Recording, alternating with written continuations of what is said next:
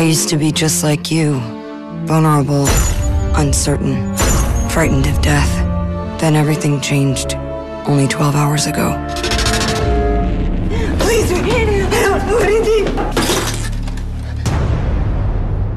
I haven't done anything. I'm begging you, please.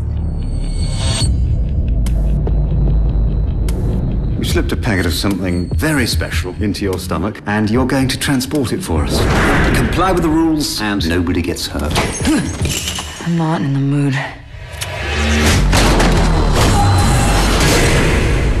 It is said that we humans only use 10% of our cerebral capacity, but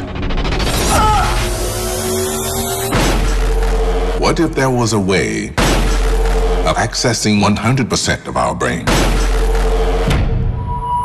What might we be capable of?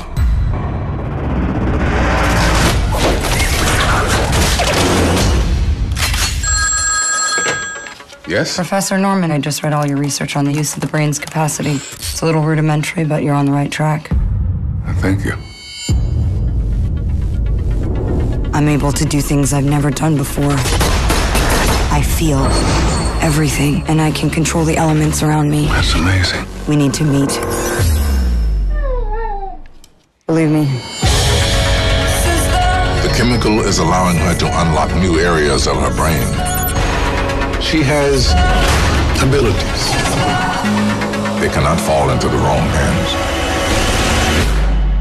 Time to go then. Miss, don't move. I need you to put your hands up, please. Her brain capacity is increasing by the minute.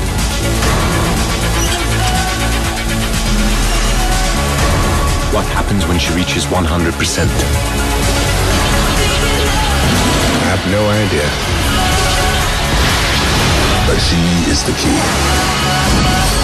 to everything. I'm gonna drive. Hey, hey, hey! No, this is a police car.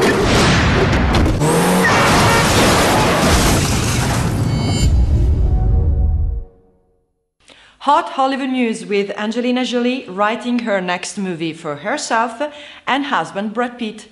No plot details have surfaced yet, but the Hollywood couple will reunite on screen for the first time since 2005's Mr. and Mrs. Smith. Jolie will next be seen as the title character in Disney's Maleficent, while Pitt stars in World War II movie Fury.